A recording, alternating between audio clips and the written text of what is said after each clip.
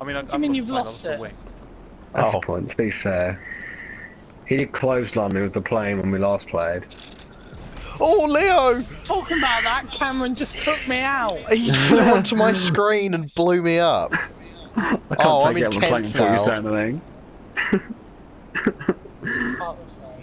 I didn't even see you coming. You just entered my screen and we both exploded. Actually, I think it was you, considering I was in front of you. Mate, I will record this